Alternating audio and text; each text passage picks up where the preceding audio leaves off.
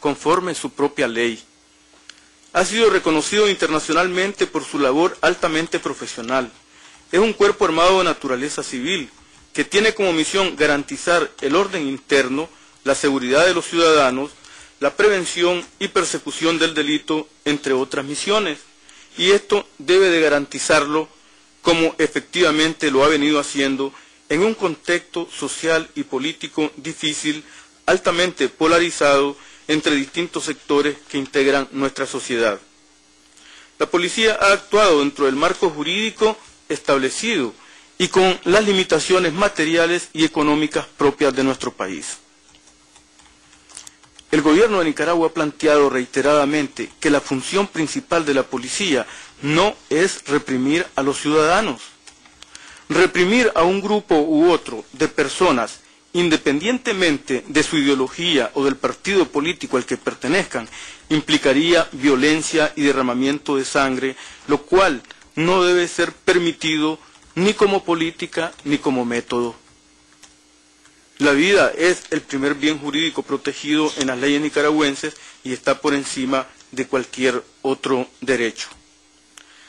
Para concluir, señores miembros de la Comisión, señores representantes del CENID, eh, audiencia, Nicaragua reafirma que la violación de los derechos humanos y la impunidad no son políticas de Estado no son políticas del presidente Ortega.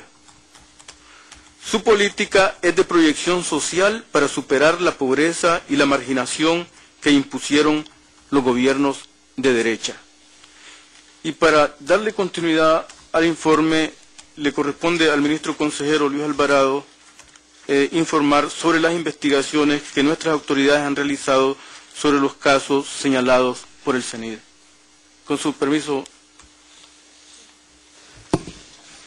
Muchas gracias, señora presidenta. Eh, muy rápidamente, en el breve tiempo que, nos queda, eh, expondré, eh, antes que todo, saludar la, presencia de la honorable doctora Vilma Núñez y su equipo, igualmente los distinguidos magistrados, miembros de la Comisión Interamericana. brevemente, sobre los hechos que el CENIT narra en sus escritos, una vez verificados los archivos y registros policiales, informamos lo siguiente. Según la denuncia de los hechos del 18 de noviembre, al concluir una marcha convocada por el candidato alcalde de León, en donde se destruyó equipos de transmisión y se produjeron daños de consideración a las radios Darío, Metro Estéreo y Radio Caricia, la policía de León, eh, en fecha 18 de noviembre del 2008, recibió la denuncia del ciudadano Juan José Toruño, expresando que en horas de la tarde de ese día un grupo de presuntos simpatizantes del Frente Sandinista aproximadamente de 15 a 30 encapuchados y con armas de fuego llegaron a las instalaciones del radio Metro Estéreo y Radio Caricias, destruyendo equipos de transmisión, CPU, consolas, amplificadores, entre otros. Eh, expresó el denunciante que uno de sus empleados de nombre Alberto Horacio Poveda eh, logró identificar eh, dentro de los agresores al señor Filiberto Rodríguez. La Policía Nacional compareció al lugar de los hechos, llevando a cabo las acciones y diligencias de investigación respectivas, entre otras, entrevista a 13 testigos, inspección ocular en las instalaciones, ocupación de evidencias encontradas, solicitud de avalúo de daños, entre otros. El 20 de noviembre del 2008 se remitió el informe de resultados. Disculpe, esa información para nosotros es muy relevante porque es parte del motivo de la audiencia. Sin embargo, visto que se ha culminado los 20 minutos otorgados, sugeriría que en el lapso de respuesta nos informe respecto de eso porque era una de las preguntas que tenía eh, que teníamos varios de los comisionados. Vamos a, entrar al lapso de preguntas y respuestas y esa información es muy importante para nosotros escucharla, pero aportaríamos mayor detalles en el lapso de preguntas del relator. Para Nicaragua, comisionado Felipe González. Muchas gracias. Bueno, les agradezco a, los solicitantes de la audiencia y a los representantes del Estado por sus eh, presentaciones. Quisiera preguntar, en primer lugar, perdón, este, eh, a los representantes del Estado en, relación con las alegaciones que se han hecho aquí por parte de los solicitantes de la audiencia eh, sobre agresiones a los manifestantes. el, eh, el embajador Moncada señalaba que efectivamente ha habido este, casos de, en que se han producido lesionados, que él señalaba que él atribuía a, choques entre, entre grupos y no entre grupos paraestatales y, y opositores. Eh, lo que yo quisiera preguntarle al Estado en este sentido es qué papel desempeña la policía al respecto, porque desde luego que si hay una situación en que se producen lesionados, eh, la policía debería tener un rol para eh, prevenir ese tipo de, situaciones y por otra parte qué papel juega también el sistema judicial en relación con la investigación de las lesiones que se producen en, eh, en las manifestaciones a las cuales han hecho mención las dos partes presentes en esta audiencia. En segundo lugar, quisiera preguntar también a los representantes del Estado en relación con el uso que se hace de la publicidad estatal eh, en relación con los medios de comunicación. O sea, cómo se asigna la publicidad del Estado para distintas actividades de este en los medios.